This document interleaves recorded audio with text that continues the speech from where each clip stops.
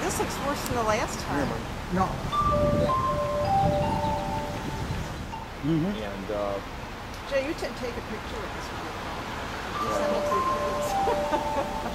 Tell them, coming back here. Anyway, long story short, uh, I always said when it happened, I wasn't surprised. And the reason I wasn't, you know, so a WGN reporter came by and asked me if I saw it. And I said, I didn't see it. news. Jay was Didn't see- I didn't see it, but I heard it. And I said, and she said, well, what do you think? And I said, well, I'm not surprised because I said, I've lived here for almost 20 years.